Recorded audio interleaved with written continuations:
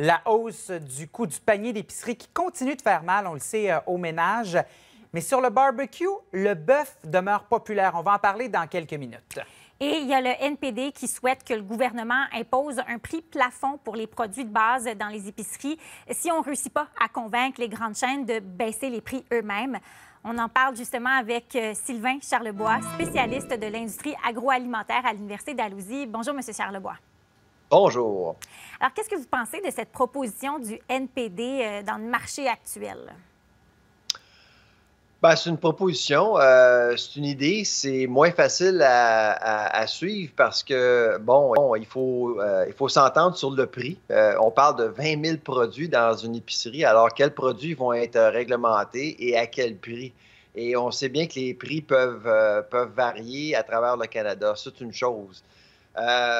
Aussi, la France a fait la même chose l'année passée.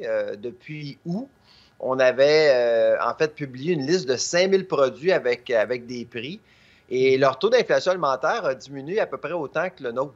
Euh, ah. Donc, on ne voit pas qu'une liste là, peut avoir un impact. Dans le fond, le marché, euh, et le ministre Champagne le dit, là, on, a, on a un marché très ouvert au Canada, alors c'est très difficile de contrer les effets macroéconomiques qui affectent les prix chez nous, là, finalement. Mm. Et justement, Ottawa, on le sait, tente de séduire un nouveau euh, géant de l'alimentation à venir s'installer.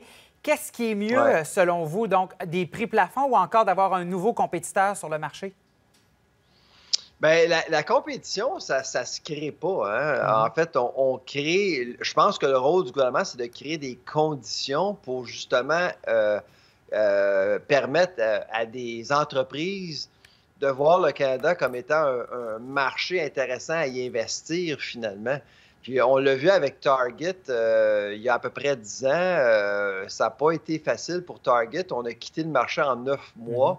Il y a plusieurs autres entreprises qui ont quitté le marché canadien, euh, Nordstrom, Sears. c'est pas un marché facile. Alors, le rôle du gouvernement, c'est de créer des conditions euh, qui permettrait à des grandes bannières d'avoir du succès au Canada. Puis pour l'instant, les coûts de distribution sont très élevés. Il y a des barrières interprovinciales qui justement compliquent les choses. Si vous parlez à des entreprises agroalimentaires, ils vont vous le dire que c'est plus facile de faire affaire avec des États américains qu'avec d'autres provinces. Hmm. Et c'est là qu'est le problème. Alors, les compagnies comme Aldi ou Lidl le savent ça très bien. Et là, en plus de l'inflation alimentaire, il y a aussi la fameuse réduflation. Ça fait mal à l'épicerie, ça fait mal en restaurant. J'imagine que tu n'es pas surpris de voir que selon un nouveau sondage, ça irrite pas mal les Québécois.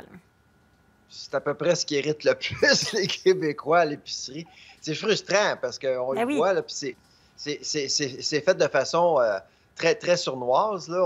On, achète un produit, on arrive à la maison, tout d'un coup, euh, il manque euh, des nouilles, il manque de ci, il manque de ça. Mm-hmm. Euh, c'est sûr que c'est frustrant. Alors, je ne suis pas surpris de voir qu'il y a un intérêt à étiqueter les produits qui ont été euh, réduits. Le problème, c'est, bon, on s'entend sur quoi? Sur un an, sur six mois? Parce que si, par exemple, on, met une étiquette sur tous les produits qui ont été réduits depuis, je ne sais pas moi, les cinq dernières années, là, il, va, il va en avoir des étiquettes à l'épicerie. La plupart des produits ont été réduits dernièrement. Et là, Sylvain, on va parler maintenant du barbecue, parce que là, on a eu du beau temps, en tout cas ici au Québec, au cours de la dernière semaine. Euh, disons qu'il y a plusieurs Québécois qui ont réapprivoisé le grill. Et là, le bœuf, selon un sondage mené par ton laboratoire notamment, ça demeure populaire au Québec. Est-ce que c'est pas surprenant de voir ça? Euh, moi, je suis pas surpris. Le bœuf est très populaire au Québec, hein, en passant. Euh, mhm. euh, la moyenne canadienne, le Canadien moyen va consommer à peu près 26 kilos de bœuf par année. Au Québec, c'est plus de 36. On adore le bœuf au Québec. D'ailleurs, pour ce qui est du barbecue, il y a deux provinces où le bœuf est privilégié toujours malgré les prix. L'Alberta, on n'est pas surpris de l'Alberta parce qu'on vit du bœuf, mais le Québec, les Québécois adorent le bœuf, aiment euh, se gâter euh, au barbecue avec le bœuf. Euh, c'est le choix numéro un, encore une fois, là, cette année. Ben, ça, c'est peut-être la fameuse joie de vivre des, Québécois, qu'on aime bien en profiter. Mais Sylvain, pourquoi le, prix du bœuf, ce prix-là spécifiquement, a augmenté? Bien, il y a eu des sécheresses dans l'Ouest canadien, même aux États-Unis, qui, qui font en sorte que ça coûte plus cher nourrir les animaux. On voit que le prix du bœuf a augmenté beaucoup on ne s'attend pas à, à une pause, malheureusement, cet été. L'autre chose qui complique euh, la vie euh, des euh, consommateurs à l'est de l'Ontario, c'est la fameuse grève mm-hmm. à Cargill, à Guelph. Il y a trois grosses usines au Canada qui ont une licence fédérale. Il y en a deux en Alberta et la plus importante pour l'Est canadien, pour desservir le marché québécois, c'est à, Car c'est à Guelph, en Ontario. Et il y a plus de 1000 employés qui sont en grève depuis 14 mm. jours. Donc, il n'y a rien qui sort de cette usine-là, malheureusement. Alors, on doit aller abattre des animaux aux États-Unis ou même en Alberta. Mais pour le Québec, il faut, euh, il faut, euh, il faut euh, se contenter de produits qui arrivent du Mexique ou des États-Unis pour l'instant, malheureusement. Mais il y a là aussi le bœuf du Québec. Mm-hmm. Il y a le bœuf du Québec qui est abattu au Québec, puis j'encourage les gens d'aller à l'épicerie puis de rechercher le bœuf du Québec parce que le bœuf du Québec n'augmente pas en prix en passant.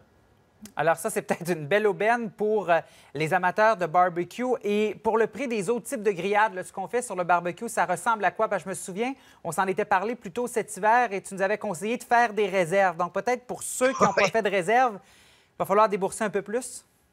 Bien, euh, sais-tu, Simon, le, poulet, je sais qu'il y a beaucoup de monde qui pense que le poulet est cher. C'est pas cher. En fait, le poulet est moins cher qu'en décembre, mm. actuellement au Québec.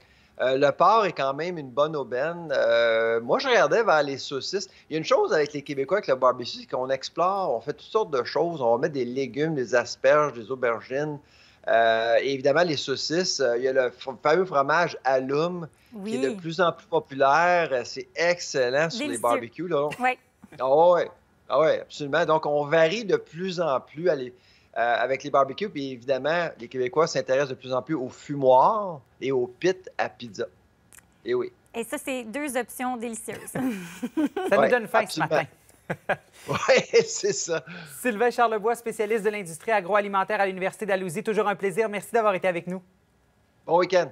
Bye bye.